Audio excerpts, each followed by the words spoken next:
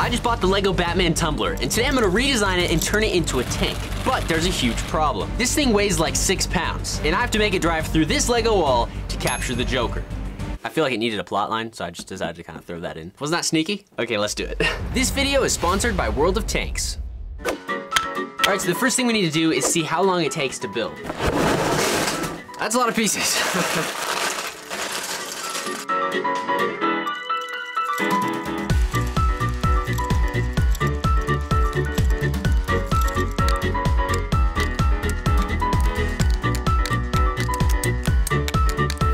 All right, so this set took me around four hours to complete, but it is absolutely amazing. I wanna give huge shout out to the designers at LEGO who designed this set because they did an amazing job. But to make it even more accurate, we wanna make it drive and we wanna put it on top of a tank. The first thing we need to do is take the wheels off. All right, as you can see like this, it looks really cool still. What we're gonna do is we're going to build a frame for the bottom of this out of Technic bricks, and then we're gonna make it remote controlled. So we have 16 Lego Power Functions motors, a bunch of Lego battery boxes, metal Lego axles for the treads, and we have some controllers and IR receivers. There's one thing building this set taught me, it's that you should always start with a good, hefty Technic frame. So now we just gotta build this up and make it a lot stronger. Now we have this, so we can attach motors in bulk. So I want four at the back on each side and two in the front. We're gonna actually make these into super motors, kind of like we did in the world's strongest L motor video. With two of these gears like this. We're gonna run an axle through, a steel axle. That way it won't get stripped like that. We're not just gonna attach this into one of these. We're gonna make four of these go around it. Grab two of these little pieces like this. Then we should be able to snap that there, put the gear on top of this, this in the middle, and then do the same thing on this side. And now you can see these both run this gear, and these both run that gear too. These metal axles are strong, bro. You can use regular axles. You can use regular axles for this. I'm just using the metal one because I want it to be stronger. Oh yeah, that's perfect. Now we should be able to just attach this right here, and that will spin that wheel, attach another one over on this side, and on this side, and on the other side. That should work. That was pretty simple-ish. So now let's build the other motor.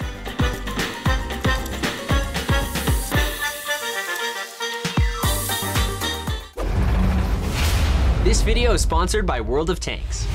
World of Tanks is an open world tank game for PC players that puts you at the controls of one of 600 historically accurate tanks so that you can aim, shoot, dodge, forget to dodge, oh. and strategize on how to beat the competition and win the game. With over 100 million players, World of Tanks is free to play and is honestly super fun. While the game can be played from a more strategic approach, It's also just really fun to roll around and hide in the bushes. They have 40 different maps to play in, so you can find yourself anywhere from rolling through a hot sandy desert, to sneaking up on an enemy tank in a forest, to a cold icy winter wasteland. Speaking of tanks, they have different types of tanks, like light, medium, and heavy tanks, artillery tanks, destroyers, so you can choose your favorite tank to play, earn experience to upgrade, and level up against the competition. If you want to get in on the action, you can download World of Tanks using the first link in the description, and if you use the code TANKMANIA during the registration, you'll get for free 7 days premium account, 250,000 credits, the premium tank Excelsior Tier 5, and 3 rental tanks for 10 battles each, including the Tiger 131 Tier 6, Cromwell B Tier 6, and the T3485M Tier 6. Genuinely, this is a super fun game. I was literally just playing it with my friend like a half hour ago. Big thank you to World of Tanks for sponsoring this video. Now let's get back to the build. All right, so we built these motors up. As you can see, the next step, we need to attach them to this to put the tank on top, and then we need to test if it works. The first thing we're gonna do is just attach this to here.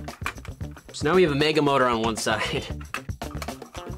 Nice. Dude, this is awesome. Okay, this is actually getting really pretty heavy. Let's actually lock these together and just stick these here.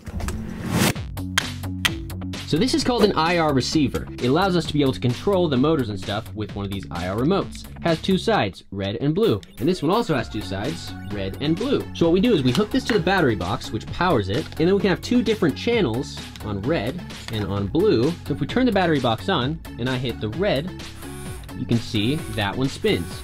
If I hit blue, that one spins. So now we can control two different sides of the tank and also two different types of the turret. So we can turn the turret and also fire the turret. We just have to get another one of these and put it on a separate channel. We need these to go on red, these to go on blue. There, and then both of these go onto battery boxes. So we got bam, forward, backwards, forward, backwards. All right, so now we need to make the motors on the front of this, and then we can attach that to this battery box and hopefully get a test going. But there's one problem with that because I ordered from an Amazon seller to get more of these treads and they completely sent me the wrong thing. So now I'm waiting on an order to come in, hopefully last minute, so we can get this thing done. that was a dramatic reenactment. Let's build up the ones over here. All right, now we got two of these. Now, we just have to hook these up. Let's actually test this on the floor to see if it'll actually run. We can just reuse the wheels from the Batmobile.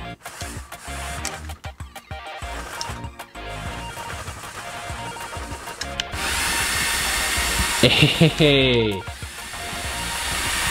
Yo, it's working. All right, so we know that the mechanism works. Now all we have to do is bulk it up, put the Batmobile on it, hope that it still works, get the treads, and then design some sort of shooting mechanism for the turret. Does it still work with the weight of the Batmobile on it?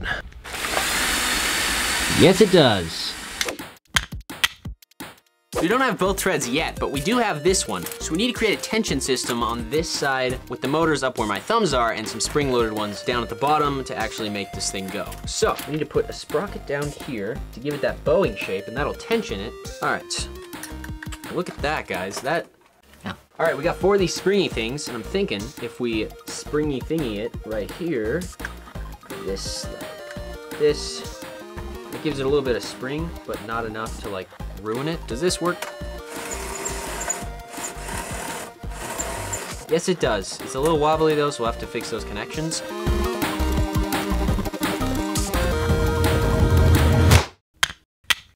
All right, guys, here's the deal. The treads come in about five or six hours. So I need to create a working turret mechanism within that time. And I have no idea how to. I was thinking we could shoot like maybe these balls. So over on this side, we need to build something Over on this side, that will actually make the balls fire.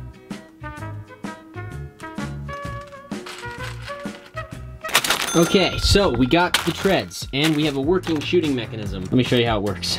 Basically, these two pieces right here are from the LEGO EV3 set and I kind of had to make a pusher puller with the servo motor. So this part is my design back here. I did try really hard to make something, but then all the gears stopped turning, but it's pretty cool. You load in the balls and then push forward.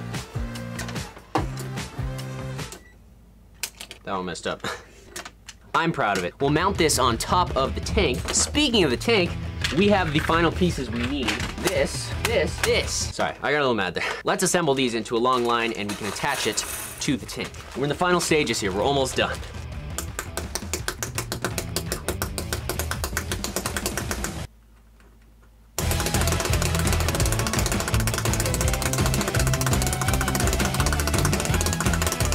Bam, look at that, guys. Wow, that that's too, I ordered too many. But, so, we gotta build what we built on this side, on the other side, then we can finally mount the turret to the Batmobile, and then mount the Batmobile to this, hook it all together, and test it.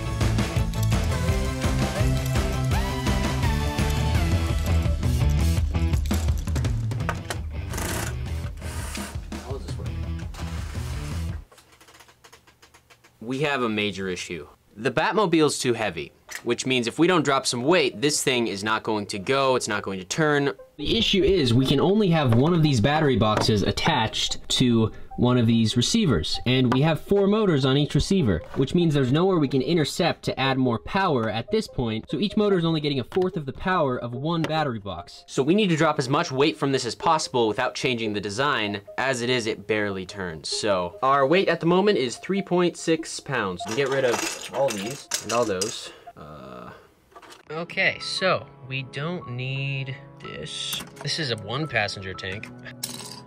Can't even tell. Now, we need to fit these in here somehow and make a turret. That ought to fix all our problems. All right, let's see how much weight we dropped with the turret and everything.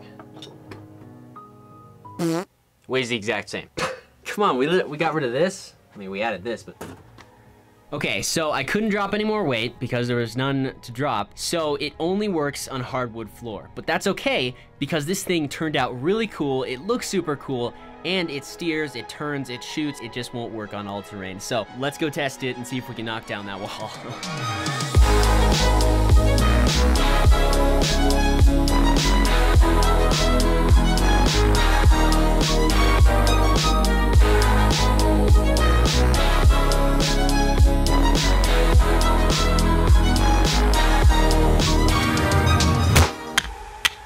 have a giant wall. We got the Joker back behind it because honestly, we need an enemy. Otherwise, this is just boring. All right, so as you can see, forward backwards.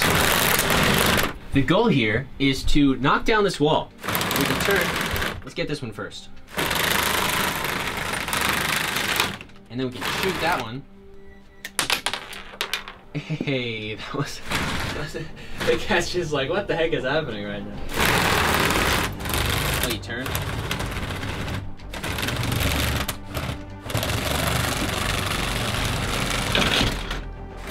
All right, here we go.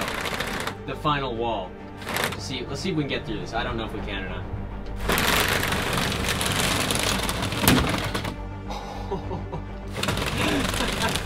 it just smashed straight down, bro. That was actually so funny. Over, uh, uh, uh.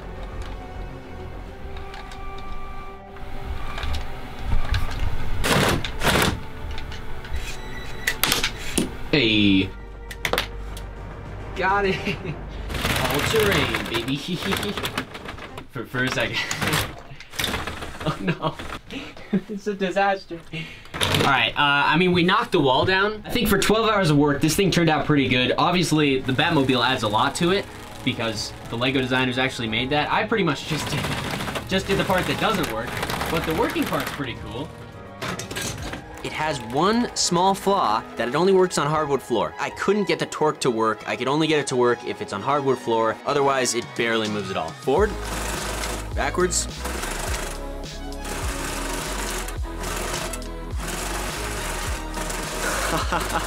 Guys, huge thanks to World of Tanks for sponsoring this video. Check out the first link in the description. Make sure you use the code TANKMANIA when you register to get all the good stuff. Check out this video right here because that's when we built Lego gummy weapons. And check out this video right here because that's one YouTube recommends specifically for you. Thanks for watching. Subscribe.